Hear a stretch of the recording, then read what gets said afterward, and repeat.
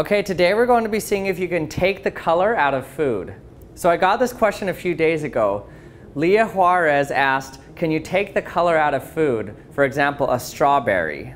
So I decided to take this one up and see what happens when we try to take the color out of food. Let's see if I can turn a strawberry or a raspberry white. So color happens when all of the white light that bounces off an object doesn't return and hit our eyes, so it looks a different color. Because white light is just a mixture of all the colors, so if some of the colors get absorbed, then all of those colors don't return back to our eye, so it looks a different color than white.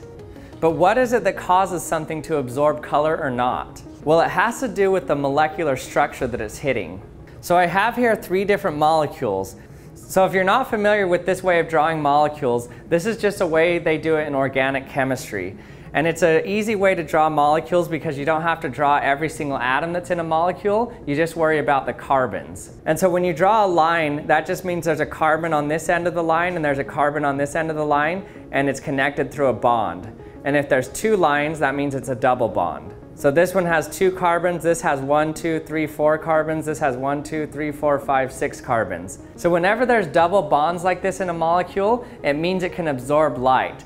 That just means that light can hit it and it can knock some electrons up to a higher energy state and then it falls back down and releases that light. And so the more double bonds there are in a molecule alternating like this, the higher the wavelength of light it can absorb.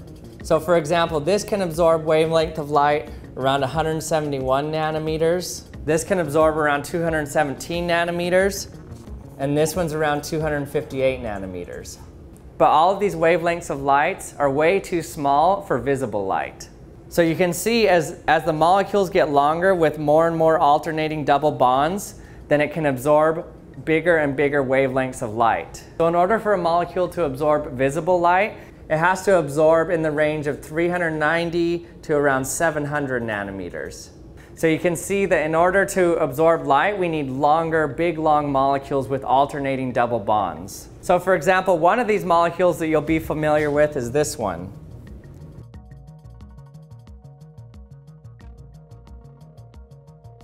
There, I think we got it. So this molecule is called beta carotene. This is what's in carrots. And carrots are orange, which means this absorbs blue light. So if you take blue light out of white light, you get orange light. So this is an orange molecule.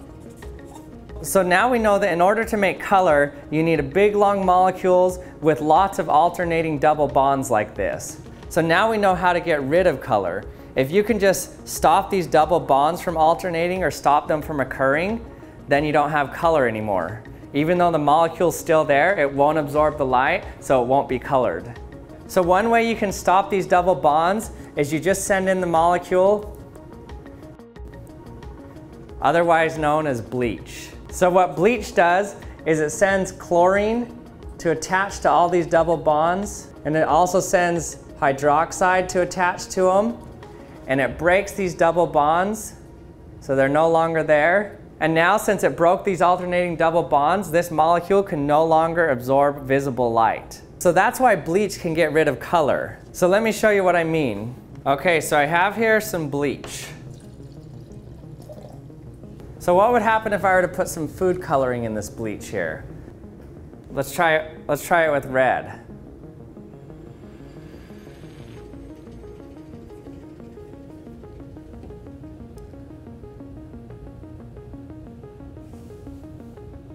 Wow, that's pretty cool what's happening. That's weird. It keeps reaching down and then going back up. That's really weird, actually. I don't know why it's doing that. Huh. And then it goes back up. I'm guessing that it's kind of this battle between centrifugal force and the dye being heavier and wanting to fall down. So you can see that there's some yellow left because in order to make these different dyes, they add different colors. And the hypochlorite reacts with the different colors at different rates. And so it kind of changes colors as it attacks each different color in there. Okay, so we saw what happened when you put dye in bleach. But what happens when you put something that's actually colored in bleach, like a whole strawberry or a raspberry? Do you think a whole strawberry could turn white just from bleach? Let's check it out. Strawberry, raspberry. So I'm gonna let it soak for 24 hours. Let's come back and see what it looks like. 24 hours later. Okay, it's now been 24 hours and look at that, the whole strawberry turned white.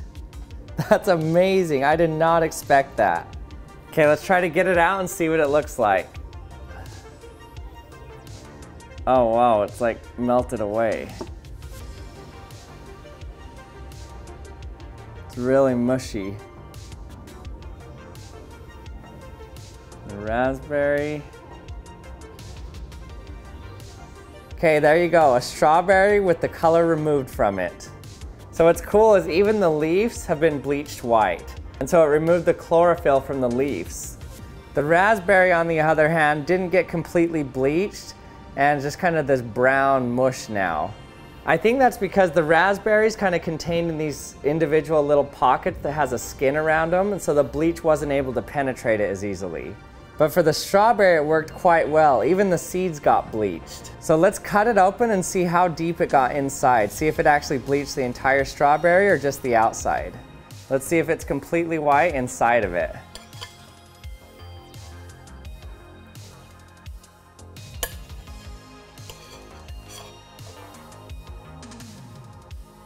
So it looks like for the most part it's white inside, but it stayed red a little bit on the very center. Look at that. So if I would have left it soaking for longer, it probably would have gotten all the way inside of there. So if you really don't like the color of your food and you want to bleach it, you don't necessarily have to wait 24 hours. That's just because in order for the bleach to reach inside, it had to diffuse all the way through the strawberry to react with the inside of it. But if you just mush everything up, for example, if you just mush a bunch of fruits together, you can just pour the bleach on and within a few seconds it turns white. Pour our bleach on.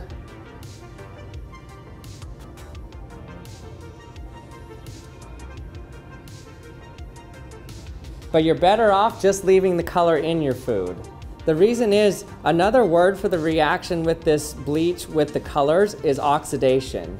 And oxidation breaks things down. It disrupts these chemical bonds and it causes them to break. And the last thing you want is your cells to oxidize. You'd rather have something else oxidize instead of the cells in your body. But if it has something else to react with instead of your cells, that's much better for your body. So that's why it's good to eat things with a lot of color because it provides the molecules to react with so that instead of reacting with your cells, it reacts with those color molecules. So anything with rich, dark colors is good for you to eat. They're called antioxidants. And you've probably heard that before, and you can see what that means. They're antioxidants because they get oxidized instead of you. Hey everyone, thanks for watching another episode of The Action Lab. I hope you enjoyed it. If you haven't got your Action Lab subscription box, hit this link here and head to theactionlab.com. And I'm giving a special for the 4th of July. You get $4 off your first subscription. And if you're not subscribed yet, hit the subscribe button and hit the bell to be notified when my latest video's out. And if you have any questions or comments, let me know in the comment section and I'll see you next time.